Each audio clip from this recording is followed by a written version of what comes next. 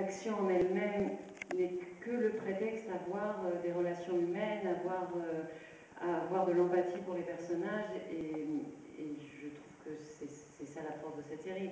C'est-à-dire que, je sais pas, je pense par exemple au Soprano, à un moment on le voit se laver les dents et on est tellement fan du type qu'on peut le regarder se laver les dents. Et je me dis, ils sont quand même super forts de nous avoir amenés à ce degré d'empathie pour le mec au bout d'un moment.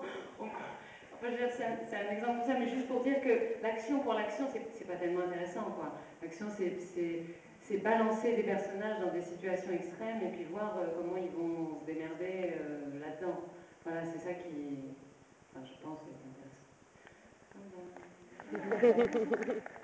Oui, bonsoir.